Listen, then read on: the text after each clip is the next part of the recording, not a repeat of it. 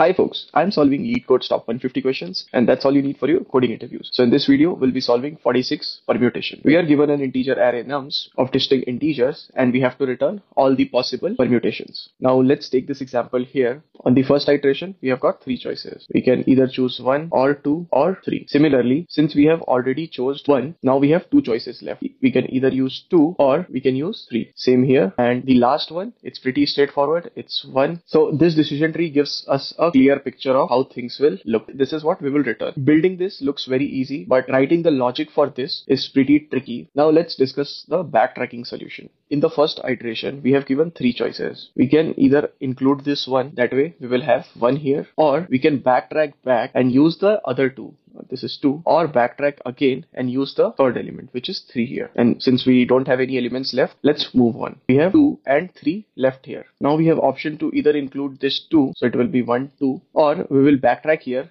and use the other element which is 3 now if you see we have one element left which is 3 here and 2 here. So we can pretty much add 3 so we are following a pattern here which is we are iterating through each of the elements here. And for each of the elements we are adding one character and then going back and adding another character. And this is the process that we are repeating for pretty much every character in the list. That's the core logic that our backtracking helper function will follow. So now let's implement this backtracking solution. We can start by defining our result variable. Now we will need our helper function, which is backtrack. This will take two inputs. One is our path, which is nothing but the array and a set to keep track of elements that we added. Let's call it used. And now the very first base case, if path.length matches our nums.length, then we can add elements to our result variable and then we can just return from here. Now, what we said was we will iterate over our nums. So, and then one more base case,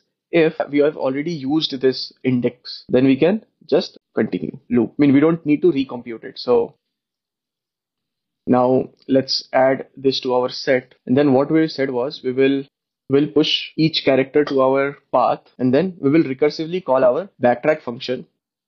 Now we can remove the element which we just added and we can remove that index from our set as well.